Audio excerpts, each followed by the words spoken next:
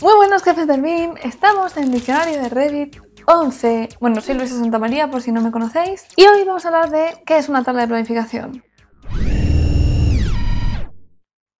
Tabla de planificación no es más que una vista más del proyecto. Y esto puede parecer muy sencillo, pero lo voy a repetir. No es más que una vista más del proyecto. Vale, puedes pensar, esta frase que acabo de decir es algo muy básico, pero no comprender realmente el significado de esta frase es lo que lleva a la gente a decir que este programa es una mierda para medir. Oye, ¿me podrías poner esto en, el Excelcito? Es lo que lleva a un jefe de proyectos a no entender el proyecto que tiene entre manos y a no poder sacar enjundia de él. ¿Por qué es tan importante? Yo estoy trabajando todo el rato en el curso de Revit con este modelo todo. Y cuando digo todo es todo, lo que yo tengo en una tabla de planificación está en el modelo. Por ejemplo, esta tabla de planificación que tiene las habitaciones está en el modelo. ¿Cómo sé yo que está en el modelo? Yo puedo coger ahora mismo cualquiera de estas habitaciones, cada una de estas filas es una habitación, cada una de estas columnas es un parámetro con su información que está recogida en el modelo y al darle a resaltar en el modelo me está buscando dónde está en este modelo. Digamos que en el sistema tradicional funcionábamos la información gráfica aparte de la información en sí. Funcionábamos con los elementos, que ni siquiera eran elementos, eran líneas, y en otra parte la información de qué materiales, qué área, qué coste tenían. Eran dos mundos separados. Ahora no. Ahora está todo aquí recogido. Y si no está en el modelo, no está en la tabla.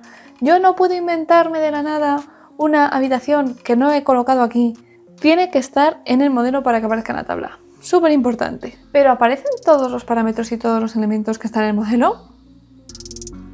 No, no tienen por qué aparecer todos. ¿Por qué? Porque ya veíamos en el diccionario de Revit, cuando veíamos los parámetros, que yo os he dado una turra con los parámetros hasta la saciedad, os he repetido el tema de los parámetros, que si yo en una familia cojo y hago un parámetro de familia y me lo traigo al proyecto, estos parámetros de familia no aparecen en las tablas de planificación. Así que mucho, mucho ojo, que si yo quiero que me vengan las familias ahí que he metido yo en mi proyecto y me aparezcan sus parámetros, tengo que haber tenido la precaución de haber establecido en la familia que el parámetro era compartido. Si no sabes lo que es un parámetro compartido, no te preocupes que aquí te dejo un enlace para que sepas lo que es. ¿Qué podemos hacer con las tablas? Obtener información, como ya estáis viendo, por aquí yo tengo una tabla de planificación de muros que las tengo por nivel. Y aquí tengo el área de cada uno de los muros y el tipo de cada uno de los muros. Y aquí me está saliendo cuántos muros hay por nivel. Estoy viendo aquí los materiales de los muros en otra tabla de planificación diferente. Tengo también una tabla de planificación de un mobiliario que, como veis, la mayoría tengo los parámetros vacíos. ¿Por qué? Porque estos muebles vienen de cuando hice la familia aquella del sofá que se agrandaba, se encogía y tal.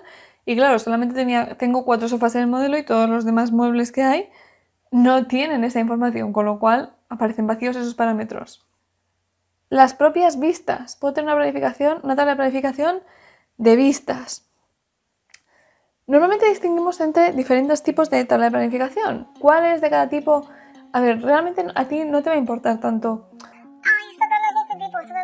sino realmente obtener la información que quiero de mi modelo de Revit. La que más se utiliza es la tabla de planificación que te viene por defecto aquí la primera de cantidades. Normalmente queremos medir ancho, largo, unidades, altura para obtener las mediciones de un proyecto. Por tanto, es de las que más se usan y se suele eh, se agrupa por categoría.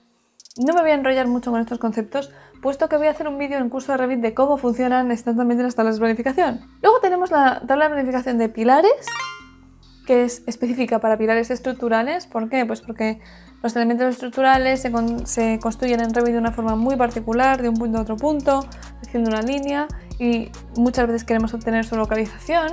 Entonces, son elementos muy importantes para el proyecto y tienen su propio tipo de tabla. La de cómputo de materiales. Podemos ver los subcomponentes de materiales de una familia. Claro, yo aquí, en esta tabla de planificación de muros,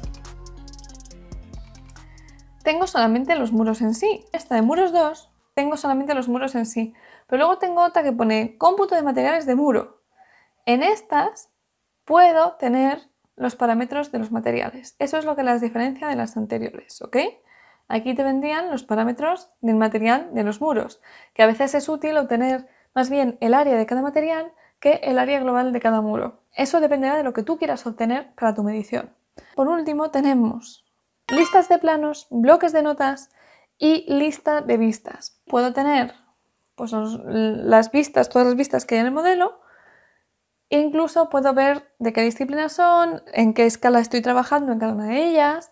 Aquí podría cambiar esta escala rara de 1,96 a 1,100.